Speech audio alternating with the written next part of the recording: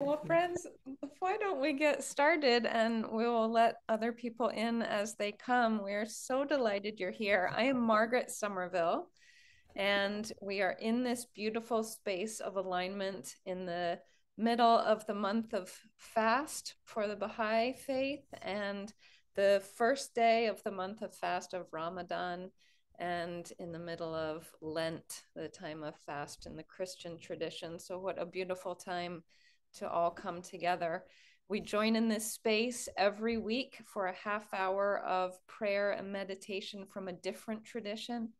And this week, we are so deeply honored to have Elika and Tarry Mahony leading us in our Baha'i meditations tonight, all the way from China. And it is Monday for them. And through this beautiful, beautiful uh, the wonders of technology, we can all be together. So, as um, you feel comfortable, we would love to hear where you all are at this moment. If you would like to pop in the chat, and feel free to use the chat for any thoughts that come up, um, prayers that you want to be held as we go through the evening together. But now I pass it over to our dear and wonderful Elika and Tarry to lead us tonight. Hi, Margaret, and thank you for inviting us to be with you today. And hello to everyone who's joined. We're honored to be here to share some music and prayers from the Baha'i writings. And so today, what we've planned for you, we have five pieces of music, three videos, and two chants. And after each piece of music, we thought we'd wait 10 seconds and have some silence. And if during that time you would like to share any reflections in the chat, as Margaret mentioned, feel free to do so. Or if you would like to just sit quietly, also that's wonderful. So, as it is the Baha'i Fast, we wanted to start by providing a brief introduction to this uh, spiritual practice and its significance. And uh, Tarry will, Tarry, my husband, will share some thoughts with you about this special time of year. Thank you, Elika. Thank you, Margaret, for uh, inviting us to this wonderful space. And uh, and thanks for all the other friends who've joined today. So, as uh, Margaret mentioned, uh, fasting is pretty much a universal religious uh, practice. I think in uh, at least every religious tradition that I'm aware of, uh, fasting is really one of the, the central practices together with prayer and meditation. And, uh, and for the Baha'is, it's a, uh, a, a time to reflect on the year because of the Baha'i calendar. So uh, many of you are aware that the Baha'i New Year falls on the first day of spring. Uh, so it's what we call Nowruz, uh, which is actually the ancient Persian uh, New Year celebration. And Baha'u'llah, the founder of the Baha'i faith, was uh, from Persia. So uh, that celebration falls this year on March 20th. Some years it's March 21st. this year it's March 20th. So the Baha'i fast is always the last 19 days of the Baha'i year. And you might ask, why 19 days? Well, it's because the Baha'i calendar has 19 months and each month has 19 days, which, uh, if you do the math really quickly, it's 361 days. And then there's an additional four day festival period. So it's a solar calendar, 365 uh, days. But the fast is always the last 19 days, the last month of the year. And it seems to me that the reason it's at that time of the year is so we can reflect on what we've done in the previous year and think maybe are there any things we want to improve for the coming year and just have a time to sort of step back from the daily uh, busyness of life and the you know the, the the work and the responsibilities and spend more time focused on our on our spiritual growth and development. Um, and and from the perspective of the Baha'i writings, really the the primary purpose of life is to develop the qualities of the soul, the qualities of love and forgiveness and compassion and mercy and wisdom. So once a year at least, we have a kind of a focus time to think about those qualities and uh, and to yeah, as I said, kind of just slow down a little bit from the the normal pace of life. So, uh, given that it's in the middle of the Baha'i fast and uh, and these other fasting traditions, we thought it'd be you know a good topic for today's uh, sharing. So, with that, I'll turn it back over to Elika, and she'll share a little bit more. All right, thank you, Tarry. All right. So, for the first piece, I chose a few of my favorite passages from the Baha'i writings regarding the Baha'i fast and its significance. There's a beautiful passage in the video from Shoghi Effendi about the meaning and significance of the fast. Shoghi Effendi was the great grandson of Baha'u'llah. So, the title of the piece that I'd like to share with you is Every Hour of These Days. And I've always found it fascinating to think about how each moment, each second of our day, Baha'u'llah says, is endowed with a special virtue. The fast, I find, is one of the most creative times of the year for me because I find that our virtues are magnified during this time. So I, I really use this opportunity to try and be as creative as possible.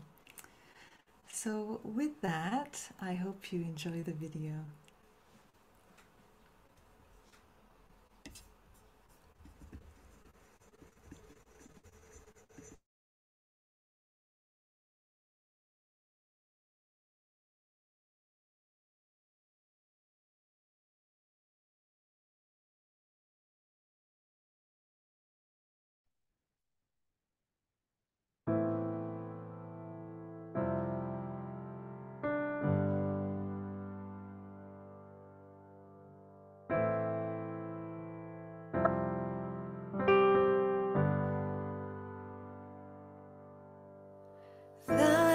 Endowed every hour of these days with a special virtue,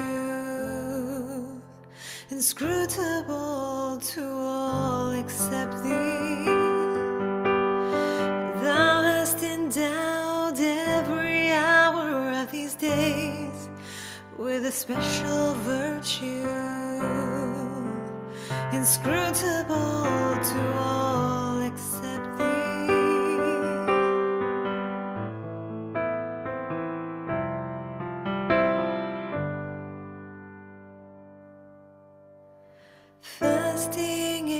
the cause of the elevation of one spiritual station.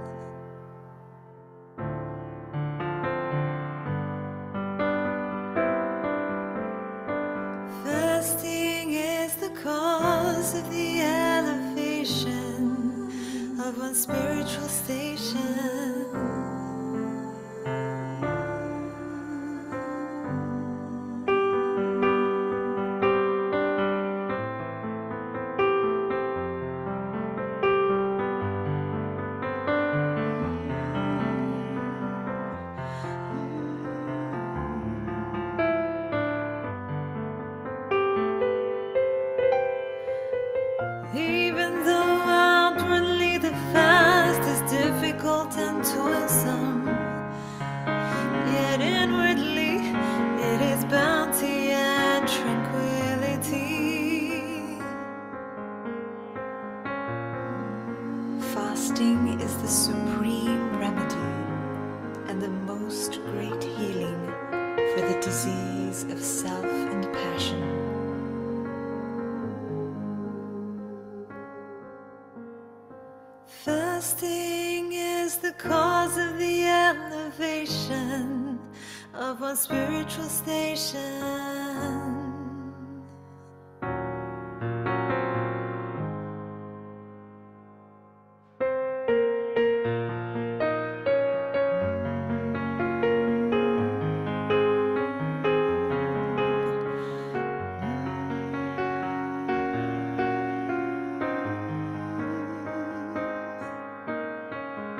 Fasting is essentially a period of meditation and prayer, of spiritual recuperation, during which the believer must strive to make the necessary readjustments in his inner life and to refresh and reinvigorate the spiritual forces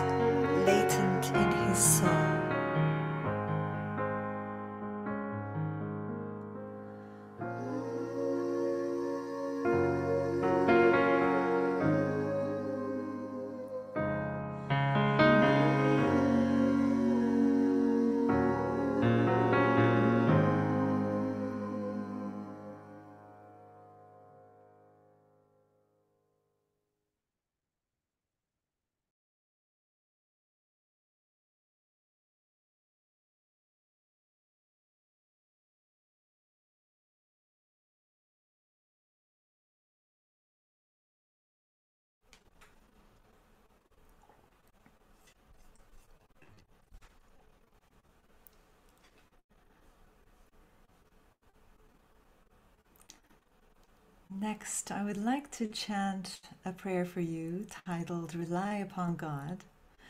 This prayer is one that I sing most often in gatherings or even at home because it brings me a sense of joy and solace. And it also allows me to refocus my mind on relying on God and trusting in Him rather than focusing on fear and doubt. My favorite part of the prayer is when Abdul Baha, where he says, and Abdul Baha was the son of Baha'u'llah. Abdul Baha says, He verily turneth trouble into ease, and sorrow into solace, and toil into utter peace. So I'd love to chant that for you now.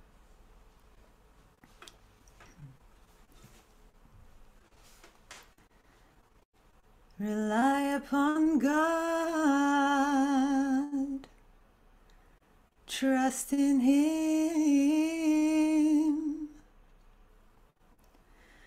Praise Him and call Him continually to mind. He verily turneth trouble into ease and sorrow into solace, and toil into utter peace. He verily hath dominion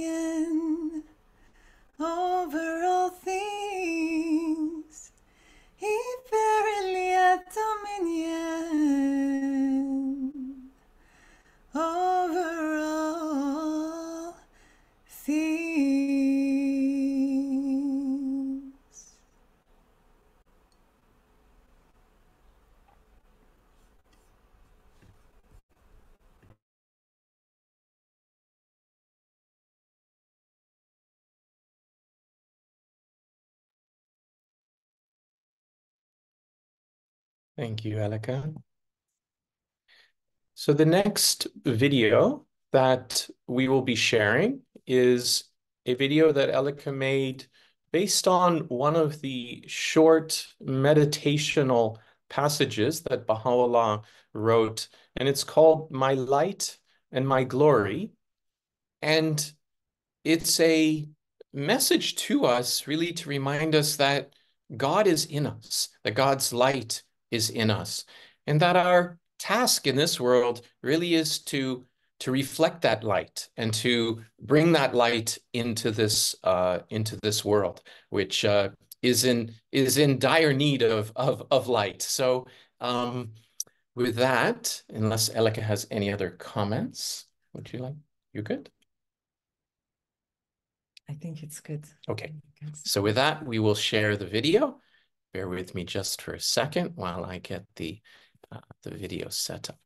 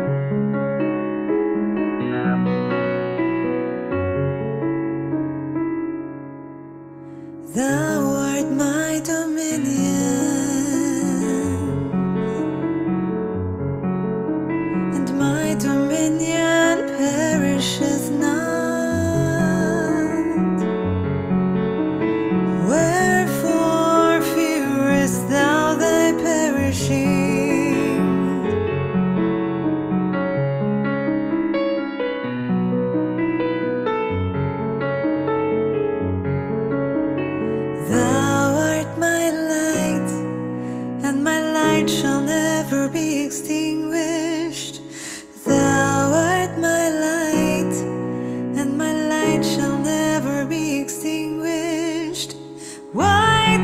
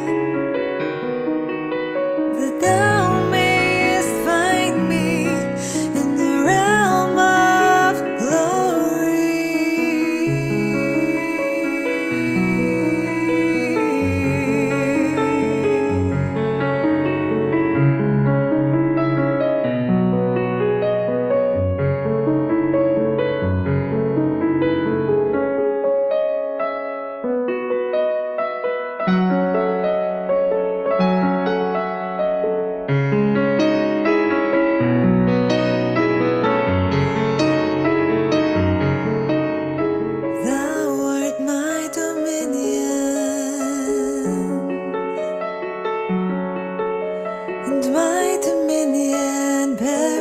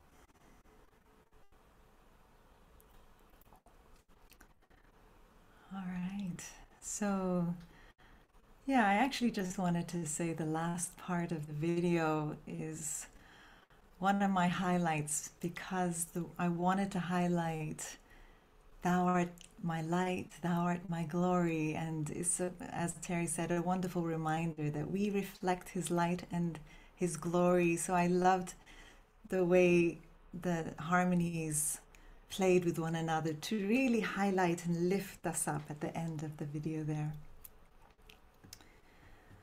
So the next piece, um, you know, as the world is facing severe calamities and uh, many, so many friends are suffering, the words in this next piece bring me a sense of hope and upliftment. And what I did is I decided to include four separate passages from Abdul Baha and combine them into one song. In these inspiring quotes, there's a common theme of life's challenges, and each quotation focuses on a virtue to strengthen. In the first quote, Abdul Baha says, We must look higher than all earthly thoughts detach ourselves from every material idea, crave for the things of the Spirit. So, this one focuses on elevating our thoughts and working on detachment. The next quote Let nothing grieve thee, and be thou angered at none, calls for forgiveness and forbearance. The third quote when calamity striketh, be ye patient and composed. Counsels us to remain calm and patient in times of difficulty. And in the last quotation, Abdul Baha says, Be thou not unhappy, the tempest of sorrow shall pass, regrets will not last disappointment will vanish. In other words, this too shall pass, reminding us to practice joy and acceptance. I hope you enjoy the video.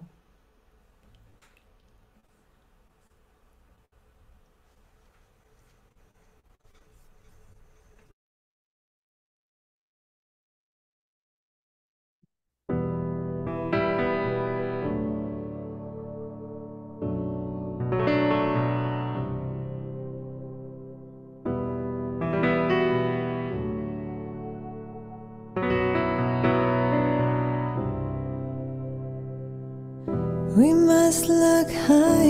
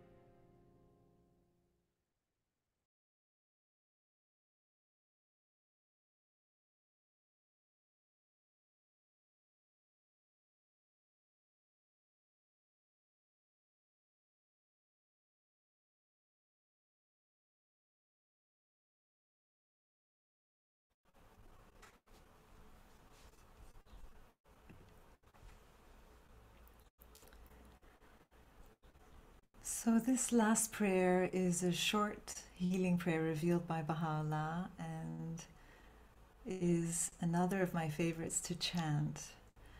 Every day I recite or I chant this prayer for friends and loved ones.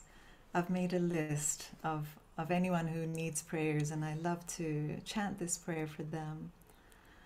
And I'd like to dedicate the prayer today to my mom, who's in hospital at the moment, and to anyone else who is struggling with their physical, emotional, or spiritual health.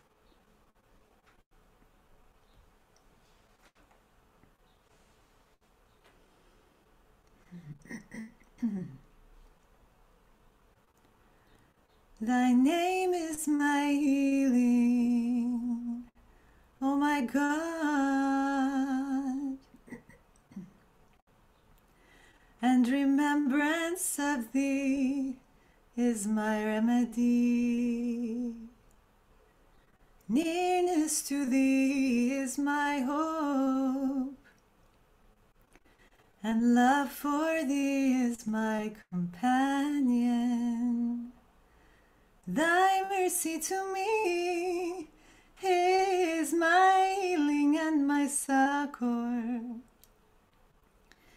In both this world and the world to come, thou verily art the all bountiful, the all knowing, the all wise.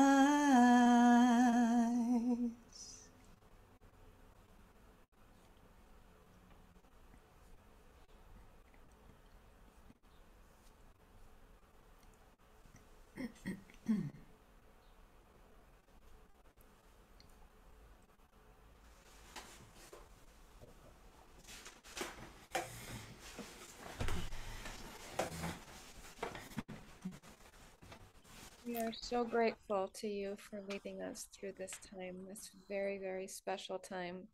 And you both capture what is so deeply the intention of alignment that we're able to be in touch with that divine light that that originates within ourselves to know it and to love it and thereby to love ourselves more deeply and to be vessels of that light to reflect, which you most certainly do with your beautiful presentation of putting the Baha'i writings into music and image so gloriously.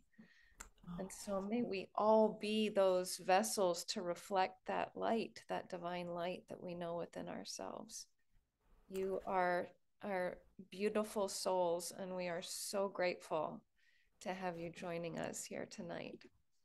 Thank you so much, Margaret, We for having us. You, we hold your mother in light. Um, Thank you. We so appreciate you inviting us to be here, and we also are grateful for all the friends who've joined us today. It was such a pleasure to, to share some prayers and writings with you. Thank you, Elikajun. Thank you Oh, our with all my heart for your mom and your family. Thank you. Thank you. you. I Love you. hope wonderful everyone's to see all of you from around the world, literally around the world tonight.